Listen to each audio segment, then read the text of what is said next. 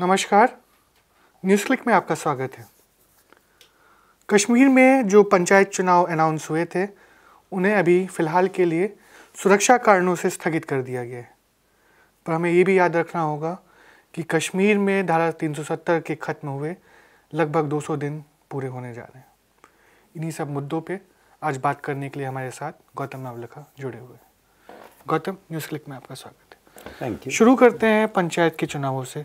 कि आप अनाउंस कर रहे हैं कि पंचायत के चुनाव होंगे पूरे जम्मू कश्मीर के यूनियन टेरिटरी में। और फिर सुरक्षा कारणों से आप कह रहे हैं कि उन्हें स्थगित कर दिया गया है। तो ये अचानक से एक दिन पहले होम मिनिस्ट्री सुरक्षा कारण क्या हो सकते हैं और इन्हें क्यों स्थगित किया गया? ज़ाहिर है सुरक्षा कारण पहले भी थे मौजूद और ऐसा नहीं है कि स्थिति सामान्य हो गई है चाहे भारत सरकार कुछ भी कहे। सामान्य तो नहीं है। और असामान्य होने के नाते ही उन्हें आखिरी वक्त पर ये कदम उठाना पड़ा क्योंकि सिक्योरिटी एजेंसीज ने हाथ ऊपर खड़ा कर दिए होंगे। जबकि ये पंचायत चुनाव बायपोल्स हैं। जी। आ, क्योंकि पिछले साल जो चुनाव हुए थे उनमें लगभग 70 से भी 75 80 प्रतिशत जो सीटें थी आ, कश्मीर में उनमें किसी में इलेक्शंस ही नहीं हो पाए थे। तो उनकी पूर्ति के लिए ये रास्ता अपनाया जाना था और उनका ये दिखाने के लिए भी दुनिया को कि देखिए हमने एक चुनाव करवा लिए हैं। जी। ठीक है। लेकिन इसमें प्रांजल एक जो ध्यान देने की योग बात बात है कि हिंदुस्तान की संस्थाएँ जो हैं जो इंस्टीट्यूशंस हैं वो कितनी मतलब उनका र, र, र, कित, कितनी बदल गई हैं वो सामने साफ़ दिखता है। मेरा इशारा है कि इलेक्शन कमीशन ने जो पहली बार ये चुनाव करवाए थे तो उसे नॉन पॉलिटिकल पार्टी हाँ कि इसमें कोई पॉलिटिकल पार्टी हिस्सा नहीं करेगा और कोई किसी पॉलिटिकल पार्टी के नाम पर कोई आ, वोट नहीं मांगेगा। ठीक है? ये बाईपोल होने वाले थे पूरी करने के पूर्ति के लिए। इसमें इलेक्शन कमीशन ने एकदम से अनाउंस किया कि ये पार्टी बेसिस पर लड़े जाएँगे। जी। ठीक है?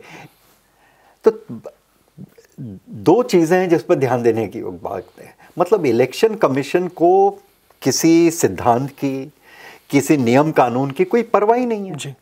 सरकार जो कहती है उसी के कहने पर लग रहा है कि वो जो भी उनसे काम करवाया जाता है वो करवा रहे हैं। क्योंकि जिस चुनाव को उन्होंने करवाया था नॉन पार्टी बेसिस पर अब अचानक चुनाव वही को कर- चुनाव पार्टी बेसिस पे करवा रहे हैं। हाँ। गौतम ये भी ध्यान रखना होगा कि ये सब तब हो रहा है जब लगातार सरकार पिछले 200 में- छः सात महीने से कह रही है कि एक तरफ़ हालात सामान्य हैं, वहीं दूसरी तरफ़ इंटरनेट पे जो क्लैमडाउन है वो बरकरार है।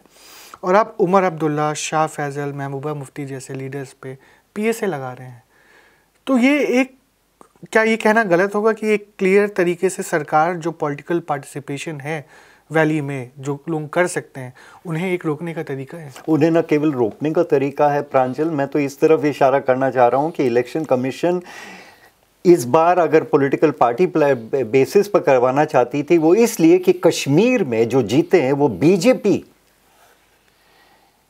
के उम्मीदवार के रूप में उभर कर जिससे कि बीजेपी अपनी विजय का अ, जो है, वो पूरे देश में ले जा प्रोपागेंडा कर सके। लेकिन ये अपने आप में दर्शाता है कि स्थिति कितनी आज भी साम- असामान्य है।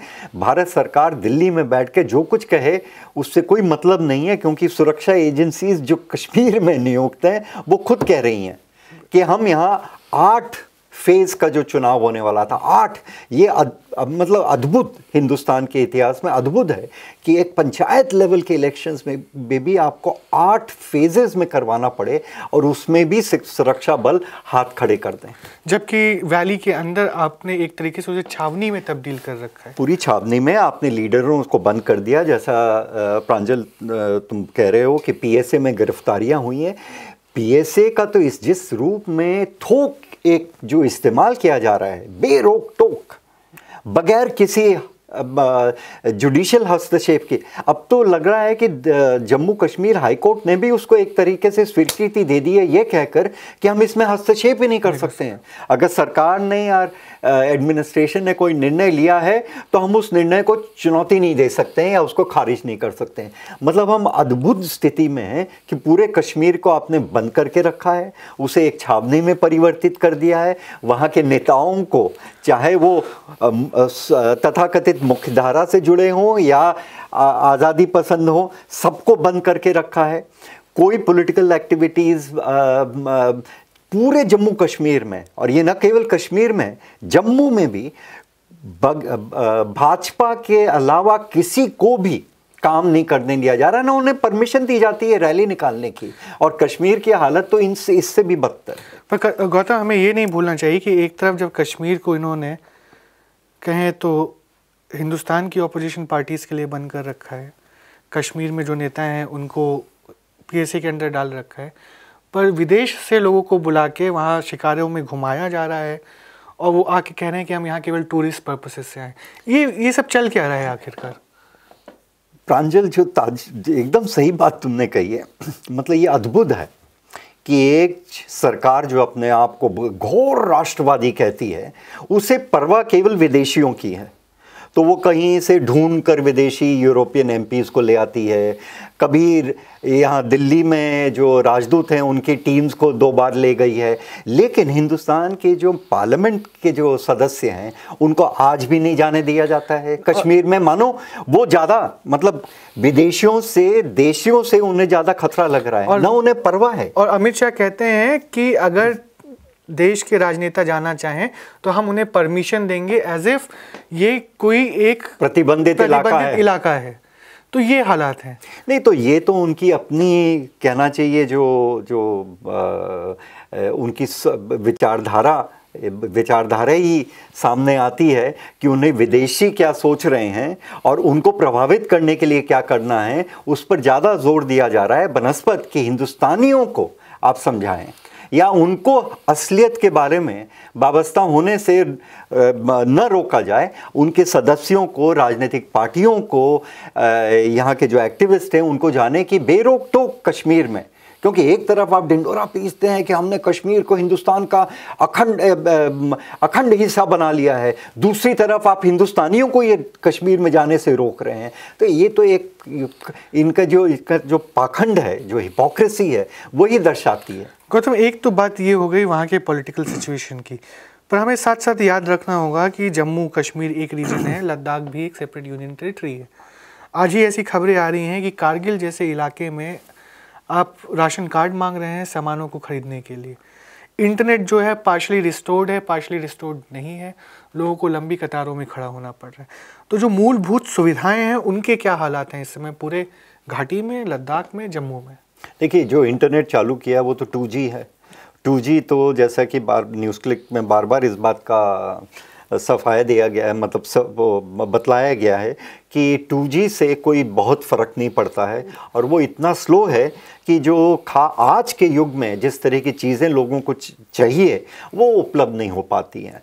वैसे भी 2G का जो इस्तेमाल है, कुछ इलाकों इलाकों तक ही सीमित है और उसमें जो वाइट लिस्ट है मतलब डेढ़ बिलियन डॉलर वेबसाइट्स आज अवेलेबल हैं, ठीक है? उसमें से भारत सरकार ने 1400 के करीब वाइट लिस्ट तैयार की है। तो खुद ही हम समझ सकते हैं कि कितना मतलब 2G इंटरनेट खोलने का, चालू करने का और केवल 400 1400 या साढ़े चौदह के करीब वेबसाइट्स को एक्सेस करने का मतलब कि एक मज़ाक के रूप में ये है। दूसरी तरफ़ मतलब लद्दाख की जब तुम बात कर रहे हैं मतलब ये सुविधाएँ उपलब्ध नहीं है राशन कार्ड की तुमने बात करी लेकिन दूसरी तरफ़ ये भी देखिए लद्दाख में ही पिछले अभी दो या तीन दिन पहले एक बहुत बड़ी रैली निकली।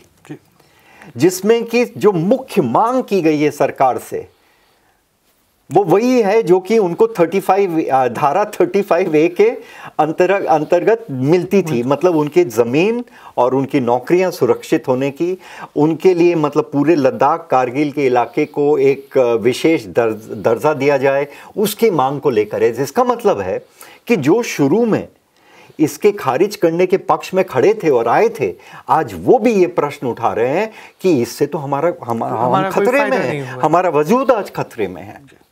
तो ये स्थिति है। दूसरी तरफ़ एक और चीज़ है प्रांजल मतलब जम्मू की जो हालत है वो तो बहुत बुरी है। मतलब उसका आ, आ, सही खबर हिंदुस्तानी मीडिया लोगों तक पहुँचा नहीं रही है। लोग परेशान हैं जम्मू में क्योंकि फैक्ट्रियाँ बंद हो रही हैं नौकरियाँ नहीं मिल रही हैं। बिज़नेस ठप और व्यापार ठप होने के कारण और ट्रांसपोर्टेशन पर भी जो एक, एक जो जो पाबंदियाँ लगी हैं उसके चलते लोग बेरोजगारी और बढ़ रही है। और गौतम ये सब तब अरे एक चीज़ मैं जोड़ना चाहता हूँ। अभी इन्हीं के सरपंच और पंच उनका एक डेलीगेशन दिल्ली आया था। ये सारे हैं जो कि सरकारी नुमाइंदे हैं। ये सरकारी नुमाइंदे भी जब दिल्ली आए और इन्होंने मिनिस्टर से बात करी तो तुम्हें पता है उन्होंने क्या कहा? उन्होंने कहा, आप कह रहे हैं कि हम विकास लाने वाले हैं, हम विकास लेकर आए हैं और विकास का काम बड़ी तेज़ी से चल रहा है। उन्होंने चुनौती दी उन मिनिस्टर्स को कि आप आइए, दिखाइए हमें कि कश्मीर, जम्मू कश्मीर में कहाँ विकास हो रहा है। और गौतम, ये तब हो रहा है जब जम्मू कश्मीर एक मॉडल स्टेट ऑफ़ डेवलपमेंट के रूप में उभर सकता था, क्योंकि इंडिकेटर्स अगर हम देखें तो ये जो पूरा भाजपा और सरकार का कहना था कि जम्मू कश्मीर में डेवलपमेंट नहीं है, हेल्थ के इंडेक्सेस अच्छे नहीं हैं, एजुकेशन के इंडेक्सेस नहीं हैं, उस मामले में जम्मू कश्मीर कई मामलों में इवन गुजरात से भी बेटर होता है। भाई, जो सोशल कैपिटल, जो इन्वेस्टमेंट किए गए हैं सोशल सेक्टर में जो कि बहुत महत्वपूर्ण है। आज दिल्ली के चुनाव देखने के बाद तो हम सबको यकीन होना चाहिए। उस लिहाज से अगर देखा जाए तो जम्मू कश्मीर लद्दाख की जो स्थिति है हिंदुस्तान में, वो कई गुना बेहतर है। इन मतलब वो गुजरात से तो कई गुना बेहतर है। मतलब शिक्षा, हेल्थ, ये जो इंडिकेटर्स हैं मतलब सबको ये उपलब्ध करवाना, सबके लिए एक्सेस होना और बड़ी मामूली रकम पर ये उपलब्ध होना, ये अपने आप में एक खास चीज़ है और इस पर करीब पचास साल का एक एक इतिहास है उसके पीछे। तो इन सबको आप नज़रअंदाज नहीं कर सकते हैं। तो अगर मोदी सरकार का ये कहना है कि हम कोई परिवर्तन लाने जा रहे हैं और विकास करने जा रहे हैं तो आप बताइए ना कि किस तरह का विकास करेंगे जबकि ये विकास तो वहाँ पहले से मौजूद था। अब उसको तोड़कर उसको नष्ट कर कर अगर दोबारा कुछ नया लाने जा रहे हैं, जिस तरीके से आयुष्मान भारत के नाम पर वो हिंदुस्तान में ला रहे हैं, जिसको सबको पता है कि ये इतना बड़ा, भारी एक बोझ अपने सर पर होने वाला है आगे आने वाले वर्षों में। अगर इस तरह की स्कीम लेकर आ रहे हैं तो कश्मीरियों का कोई कल्याण नहीं होने वाला है। शुक्रिया गौतम हमसे बात करने के लिए, और जैसे ही ये डेवलपमेंट्स होते रहेंगे, हम लगातार इन सब मुद्दों पे आपके पास वापस आते रहेंगे। धन्यवाद। न्यूज़ क्लिक देखने के लिए धन्यवाद।